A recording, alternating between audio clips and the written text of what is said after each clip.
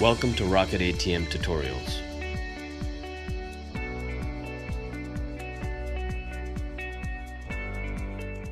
In this video, we're going to demonstrate how to program a Puloon ATM machine. So it has an error code right now, but uh, in order to log in, the uh, functions are clear enter 123 and then you'll ask, be asked to enter a password. By the way, before you enter a password, uh, this version of software is the uh, latest as of February 21st, 2020. So if you have a version that is not VO407, uh, or if it's lower than that, like 03 or VO3.00 point whatever, you need a software update. So anyway, it's timed out. So clear, enter one, two, three. It's gonna ask you for a password. You enter your password that your processor would give you. If you don't have one, you need to contact uh, us and we can uh, set up your account. And then press enter. So we have the uh, configuration menus here, as you can see. Uh, what I'm gonna do is just jump straight into config uh, and start programming this ATM machine. The welcome messages, that's when customers come to uh, come to the ATM, that's kind of what they'll see. It's pretty straightforward. If you want to change the characters uh, to letters, you can hit characters. If you want numeric uh, options, you can uh, use that and you can see what line you're programming. So right now I'm going to be programming welcome to Sirius 1 because the, the, the box is filled. If I go there, then now I'll be programming this particular one and I can watch this. If I hit clear, it, it just wipes that out. And if I go there and I want to wipe that out, I just hit clear. And so as you can see, you can program in, program in, program what you what you need. I'm just going to go back to this second screen here and just show you uh, how to do characters, capital characters, small characters. So welcome to uh, Sirius ATM and I'm just going to say hello here. H E L. So I needed a double L. So I kind of used the cursor to move forward by using this plus button but it looks like I jumped a couple of extra digits there. So I'm gonna go back back back. There we go. There's the L and then oh hello. If that's what I wanted it to say, after that, just hit OK and it'll be saved. Checking your date and time, pretty straightforward. You don't have to sync the host time, but date and time uh, is very straightforward. Uh, if you want to do your date, you do this. If you want to do your time, you're doing that. And then you're just entering your uh, timing on your keypad here, and that should be pretty self-explanatory. So I'm going to leave the easy stuff till uh, let you guys figure that out. If you need help, of course, contact support, but set up ATM is where we want to go. So from here, we're going to go to picking and choosing which uh, processor that we're with. You have uh, various processors that you can choose from.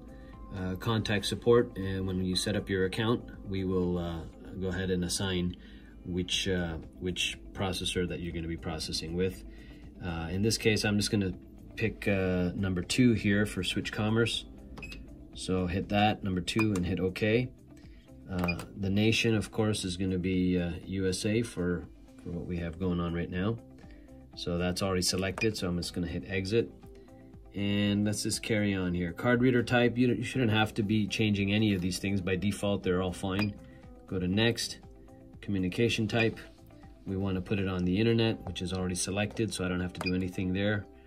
Uh, not worrying about downloads, reboot times. Out of paper is a nice uh, function. You want to always let the ATM carry on with transactions. So we want it to be continuing the transactions when it runs out of paper.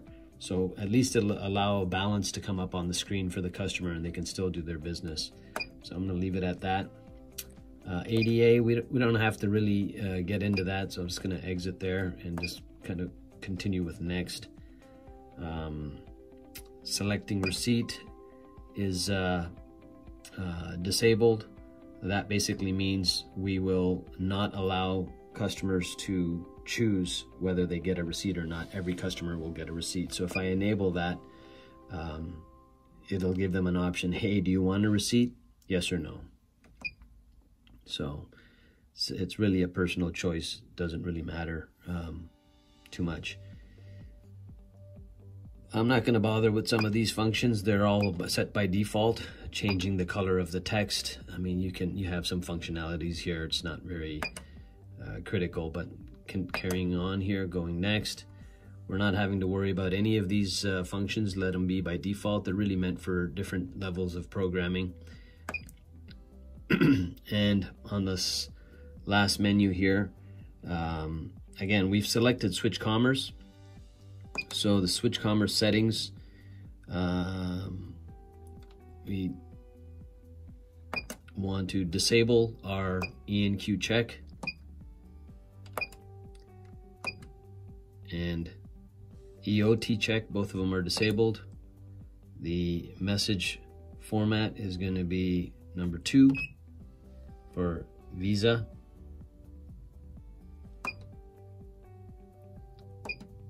Status monitoring should be enabled. Use 12 digits. Uh, this is disabled, that's fine. We just need it to be. So back to ENQ check is disabled. Yes. EOT check disabled. Great. And that was it. We're back out to where we started from with the setup ATM machine, which we've done. We've gone deeper into this menu in, in, in, in, in when we went next, next, next. So now we're gonna go to the TP, TCP IP set. And over here, we are gonna start off on the right here. So DHCP, we wanna enable our DHCP. We wanna go to uh, our SSL and uh, for switch commerce, we wanna enable our SSL. So mark it as enabled and hit OK. URL option, we do want to enable that. And let's go to then the server URL. We want it to be saying atm1.switchcommerce.net. So I'm already in the URL menu here. So if I was in port, it would go down, but if I want to change the URL, and this is what I want to program, I can start programming that. I'm going to go ahead and hit clear. So it wipes it all out. And then uh, using my keypad, uh, I can start typing whatever it is that I want it to say. In this case, like I said, I need it to say atm1.switchcommerce.net. So A is found on number two. So if I hit two, I'll get the A. And then I need a T, so just eight. And then M, which is six. So as you can see, now I'm typing in lowercase, which is fine. So I want it to say ATM 1. Now I need the number 1. So it's hit the number button, hit number 1, and there I got my ATM 1. And I need ATM 1 dot. And I need back to characters now. Switchcommerce.net. Going to make sure we spell that correctly. S. So I pressed 777 where it said PQ, uh, PRS as you saw. SW which is number nine. I is number four, so four, four, four. There's the I. T, C, H, C, O, and now I need an M. So M is is already on this number six button, but if I hit M again, or number six, you can see it, keeps going. So I need to actually hit the plus button here to forward the cursor and then, oh, looks like it jumped.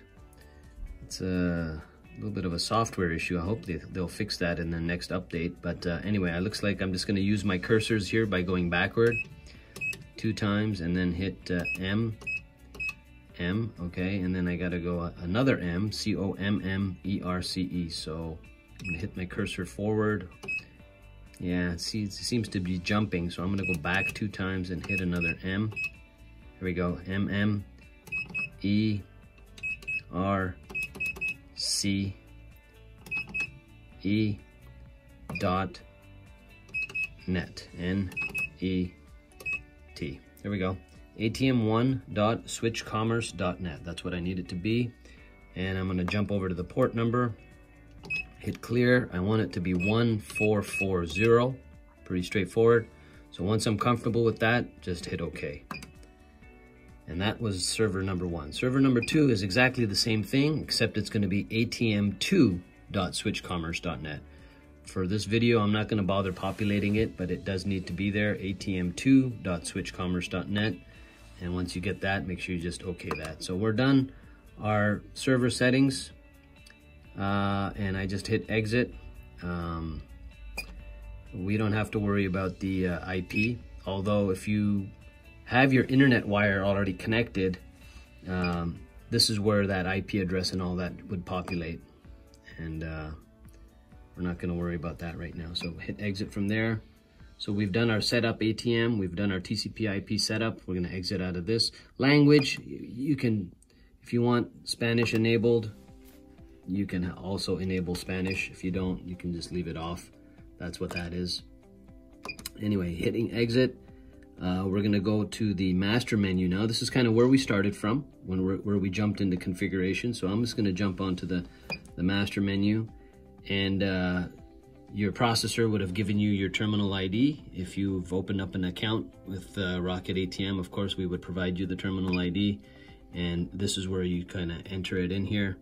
Let's just go ahead. Let's just say the uh, terminal number was something like, uh, I don't know, TX, TX, and then something with numbers 0855512. Let's say, if that's what your terminal number is, that's kind of how you navigate the entering the terminal number. Um, and then passwords, we would uh, assign those passwords once you open up your account and routing ID. If you've already done selected your processor, it would it would automatically populate, which it has, so that's good. You don't have to even worry about that. And then the last part of the activation is actually done in key management. Uh, for this, you'll need to contact uh, Rocket ATM, where we would uh, address that and get the final activation processes set up for you. That's how you set up a Puloon configuration so that we can get this uh, ATM programmed on the internet.